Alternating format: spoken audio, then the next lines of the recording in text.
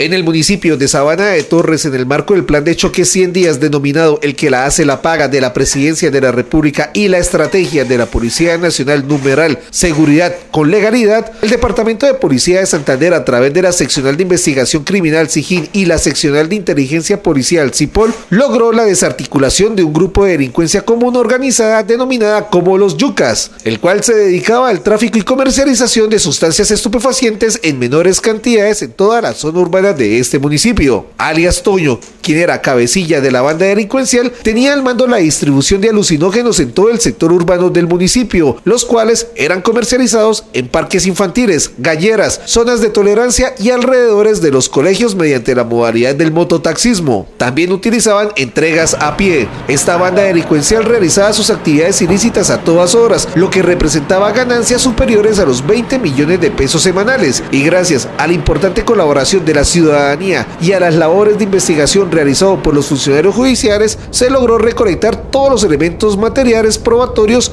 y evidencia física que permitió a la Fiscalía General de la Nación expedir los diferentes órdenes de captura y diligencias de registro y allanamiento donde también se obtuvo resultados de la captura de ocho personas, entre ellas alias Toño, su cabecilla, la incautación también de una motocicleta la cual utilizaban para hacer entregas de estupefacientes.